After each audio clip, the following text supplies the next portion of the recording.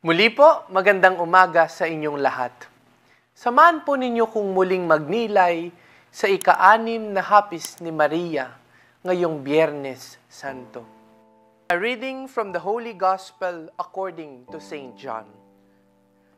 Now, since it was preparation day, in order that the bodies might not remain on the cross on the Sabbath, for the Sabbath day of the week was a solemn one. The Jews asked Pilate that their legs be broken and they be taken down.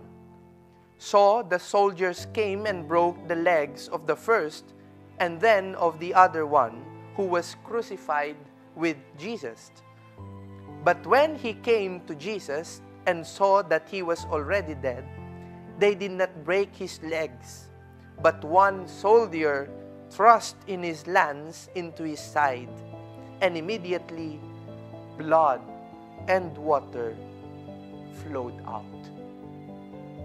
Just imagine Mary when Christ did touch from the cross and placed on her arms na siya mismong nagpalaki, nagpaaral, nag-asikaso, nag-aruga, at ibinigay ng kanyang pangangailangan at ibinigay ang kanyang mga pangangailangan.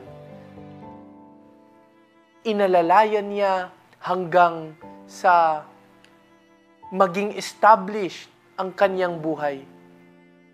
And then looking at her son, hawak-hawak niya, kalong-kalong niya ang bangkay ng kanyang anak. Punong-puno ng dugo at sugat. At sa mga oras at panahon na iyon, sapagkat maghahapon na, kinakailangan na nilang ilibing ang bangkay ni Jesus ng mabilisan nang walang ginagawang ritual na gaya po ng ginagawa ng iba. Nililinisan muna ang bangkay bago ilibing. Wala na po silang panahon upang malinisan ito sapagkat sila ay nagmamadali upang hindi na po manatili ang bangkay sa araw ng Sabbath o pangingiling. At kung ating pong mapapansin, bago ibaba sa krus si Jesus, tinusok ang kaniyang tagiliran at lumabas ang dugo at tubig. Katunayan na siya ay patay na. At sa senaryo na ito, makikita po natin kalong-kalong ni Maria ang kanyang anak na kilala sa tawag na La Pieta. It is a Italian word which means pity or compassion. Ang ibig pong sabihin ng pieta, ito po ay katagang Italiano na nangangahulugang awa o kaawa-awa. Kaawa-awa sapagkat pinarusahan si Jesus kahit na walang nagawang kasalanan. Lahat ng hirap na kanyang dinanas ay kanya po itong tiniis upang tayo ay lalong mas mapalapit sa Kanya. God will to share His eternity, His eternal life with us. And this is one of the reason why God died for us. God created man and woman not only for a temporary life on earth.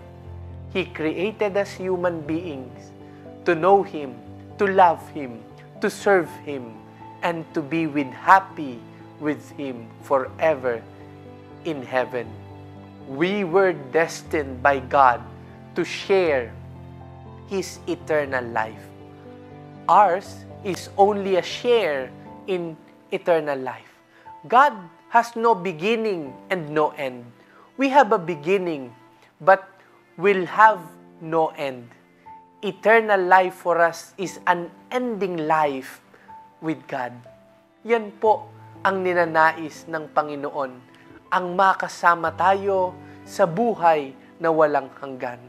Saint John Henry Newman said, Time is short, but eternity is long.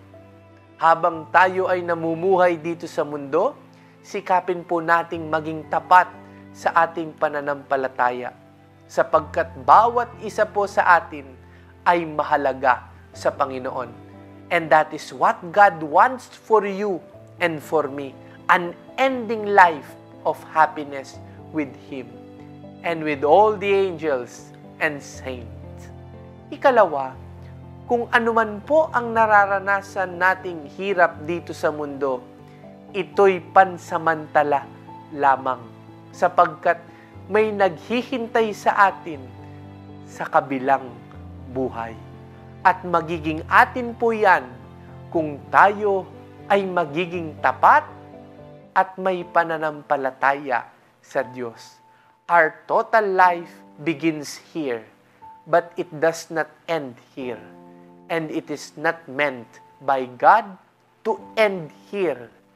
He means it to be endless with Him.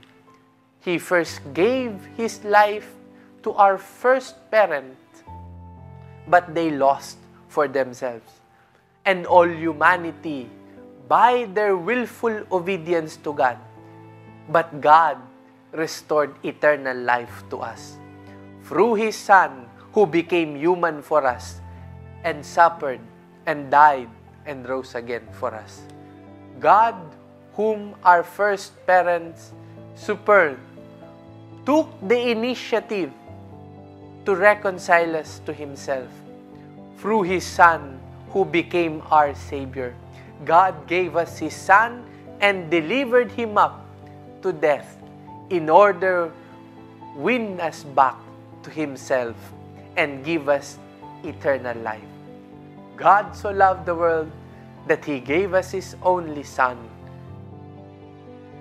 that those who believe in Him may not perish, but may have eternal life.